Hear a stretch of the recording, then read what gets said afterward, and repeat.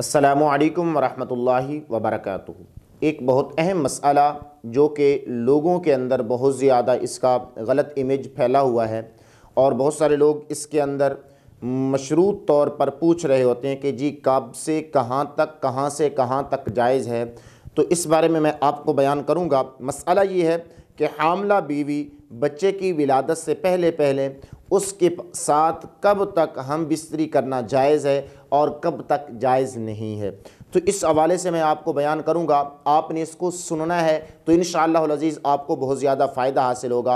अगर आपको वीडियो अच्छी लगे तो इस वीडियो को लाइक कर दें, चैनल पर नए हैं तो चैनल को लाजमी तौर पर सब्सक्राइब कर लें। इन अज़ीज़ अच्छी से अच्छी वीडियो हम आपके लिए लाते रहेंगे। चलते हैं अपने मौजू की तरफ़ कि हामला बीवी के साथ कब तक हम बिस्तरी करना जायज़ है और कितने दिन तक नाजायज़ है।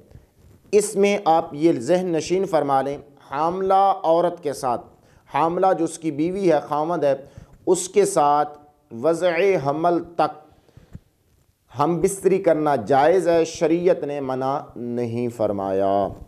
शरीयत ने मना नहीं फरमाया। लेकिन इसमें अगर डॉक्टर हजरात और बाकी तिबी अमला कहता है कि जी आपने इनके साथ इन इन माह के अंदर हम बिस्तरी नहीं करनी तो आप यकीनन उनकी बातों पर अमल करते हुए आपको चाहिए कि ऐसा काम ना करें। जायज़ है, बेहतर और औला बात है कि ना की जाए।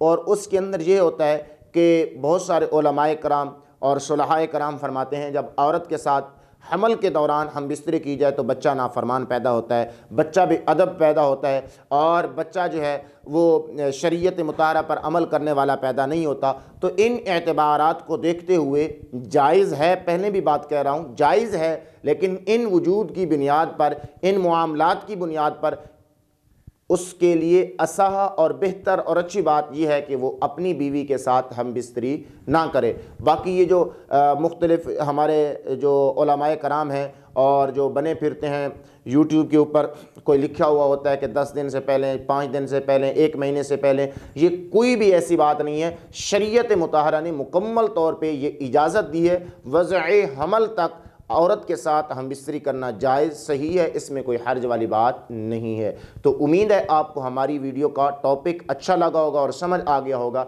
अगर आप हमारे यूट्यूब चैनल पर हैं तो लाजमी तौर पर इसको सब्सक्राइब करें। असलकम वरहमल वर्का